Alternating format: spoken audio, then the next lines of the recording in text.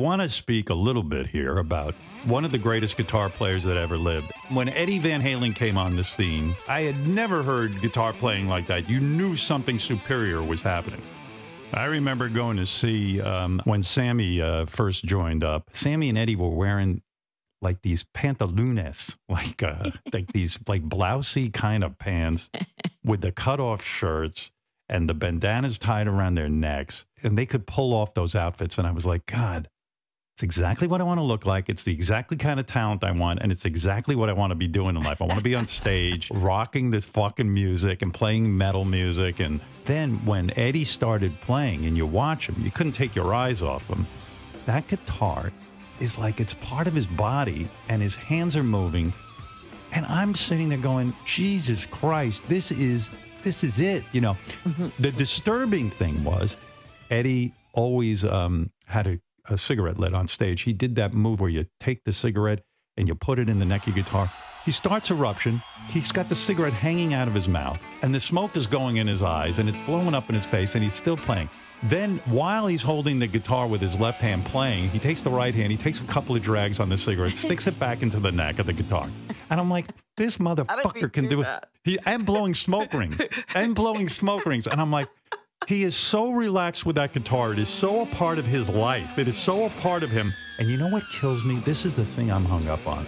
Thousands and thousands of hours of guitar playing, all of that talent, all of that expertise is gone now. It's like, okay, we have recordings of it, but it's gone.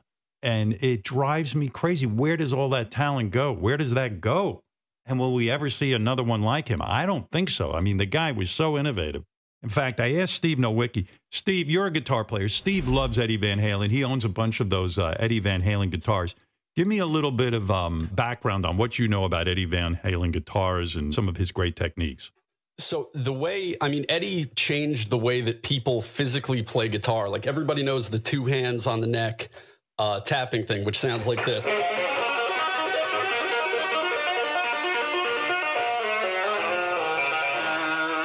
And all that. I mean, he pioneered um, this piece of uh, technology. It's called the Floyd Rose Tremolo with the whammy bar. I mean, he really pioneered this, which developed all these sounds of like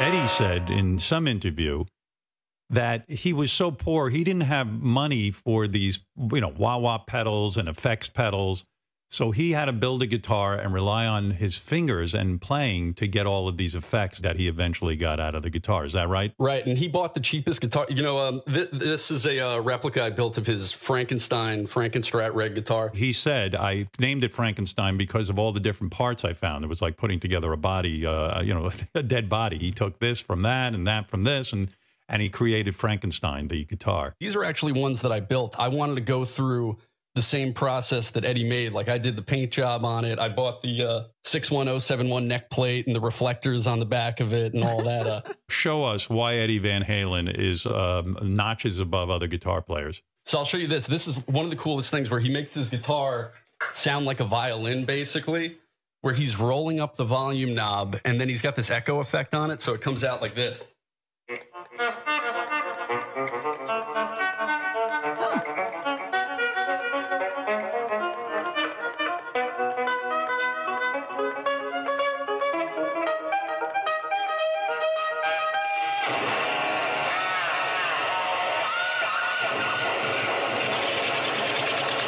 Yeah. That is just an amazing sound, isn't it? Yeah, and I mean, he did things with harmonics, or I don't know if you know harmonics, but it's when you yes. tap the string lightly.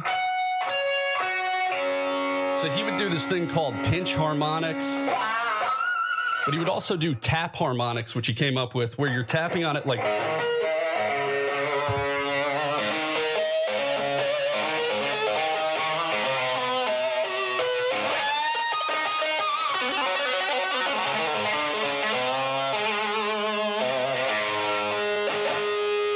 By the way, I should mention that Deep Tracks Channel 27 is now an Eddie Van Halen tribute channel. I'm, I'm just doing a little tiny tribute, but this is going to go on 24 hours a day. Eddie Van Halen also did the Beat It. The riff and Beat It, yeah. Which is so great. You got it, Eddie! Eddie! Eddie!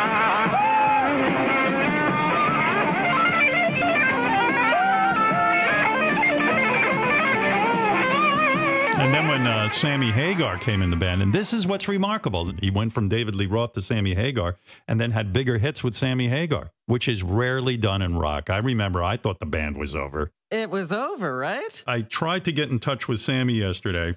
Sammy uh, didn't want to come on the air today, but he said um, That I understand, yeah.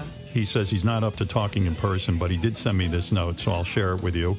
I would love you to share that Eddie and I had been texting, and it's been a love fest since we started communicating earlier this year. We both agreed not to tell anyone because of all the rumors it would stir up about a reunion, etc. And we both knew that wasn't going to happen. But he also didn't want anyone to know about his health.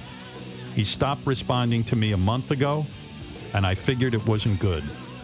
I reached out one more time last week, and when he didn't respond, I figured it was a matter of time, but it came way too soon.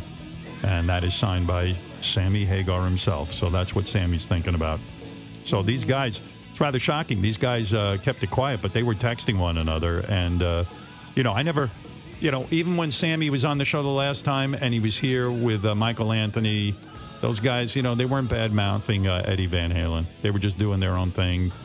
But I'm sure that this is an emotional day for David Lee Roth and for, for uh, Definitely. Sammy and for, and, of course. And Michael Anthony's Alex. and yeah. Alex. You feel really bad for Alex because they never left each other. They were always together from childhood till now. Yeah. Those two brothers were together. By the way, I thought uh, as a capper, I would show you this. One of my most uh, prized possessions, Robin, Yes. a guitar that Mr. Edward Van Halen gave me. And as you can Ah. see, this guitar, I got a piece of plastic over the neck, but this guitar is called Wolfgang, named after his son.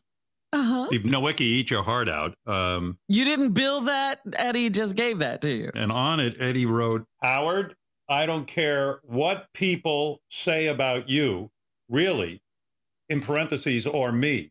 All the best, Eddie Van Halen. And, uh, Ah, Looks like he put the date. Looks like 98, something like that. beautiful. And uh, there you go. I hope that was a fitting tribute for the one and only Eddie Van Halen.